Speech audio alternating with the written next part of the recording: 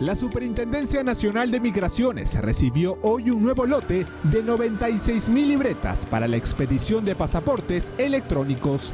Con la llegada de este material, la entidad asegura que cuenta con el stock suficiente para atender la demanda de los usuarios hasta fin de año. El día de ayer hemos recibido un lote de 96 mil pasaportes, eh, con lo cual ya a la fecha tenemos la recepción de 404 mil eh, libretas de pasaporte y sus respectivas láminas de seguridad, ¿no? Con lo cual tenemos eh, ya el stock suficiente para atender la demanda que se viene presentando. Como se ha venido comportando la demanda a la fecha, tenemos la cobertura suficiente para hasta fines de año. Jorge Gibbons, vocero de Migraciones, aseguró que las largas colas que se veían hasta hace unas semanas en algunas sedes de migraciones, como en Breña, no volverán a repetirse. También recordó a los ciudadanos que además de la sede principal de Breña, en otras oficinas de migraciones ubicadas en el Agustino, Ventanilla, El Callao, La Molina y Surco, también se hacen entrega de pasaportes electrónicos.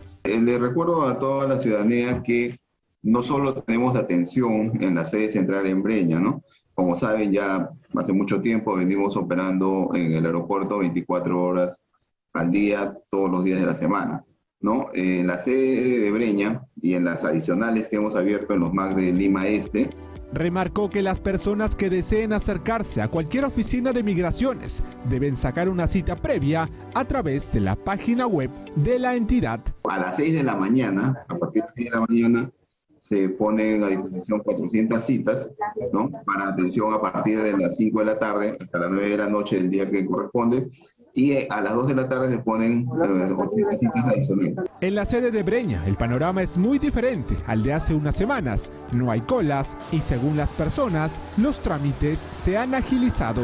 Más rápido que antes, ¿no? Hace un mes. Para mí sí me parece más rápido. que había mucha gente, no había atención. Pero ya, gracias a Dios, ya este. Ya me van a entregar mi pasaporte dentro de dos horas.